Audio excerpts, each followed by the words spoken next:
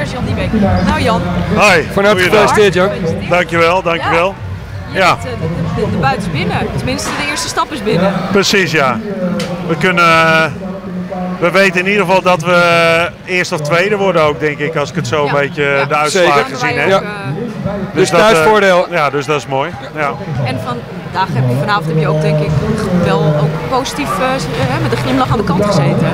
Nou, klopt. Goeie Ja, ik ben goede dingen gezien. Ja. Ik vond dat we scherp begonnen, ook goed eh, verdedigend veel druk op eh, gelegd hebben. En eh, nou, je zag wel toen het, ja, ik geloof dat het iets van eh 10, 11, 2 was. En toen zag je wel dat de spelers een beetje een stapje terug deden. En, ik weet niet of dat vermoeidheid of verslapping was, maar eh, ja, dat, eh, dat moeten we van de week nog even navragen, zeg maar.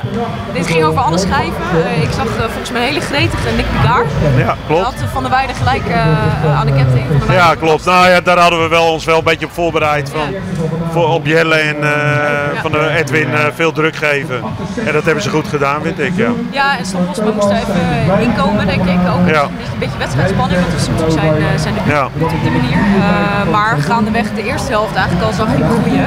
Ja. En eh, ja, het was lang jammer van zijn kramp eh, aanval, maar Ja, nou ja, maar dan zie je dat. eh, ja, eigenlijk denk ik dat hij nog niet gewend is om dan op die intensiteit zo. eh, dus dat is een mooie les voor hem ook, denk ik. ja, ja. Ja. Nou, ik denk wel dat hij ervan genoten heeft. Het zal morgen nog wel voelen in zijn kuit, maar Ja, wel natuurlijk.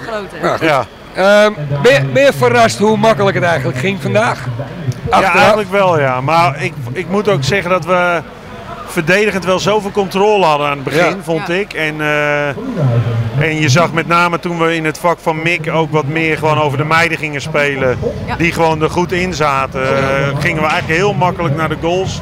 En kon Mick ook eh, van daaruit weer zijn kansen krijgen. En eh, nou ja, wat je al zegt, Picard zat er goed in, Barbara zat er goed in. Eh, Paul eh, ook prima meegescoord. Dus als je dan over alle schijven gaat scoren, ja, dan, gaat het, dan gaat het hard. Als je, als je verdedigend controle hebt en je doet dat aanvallend. Ja.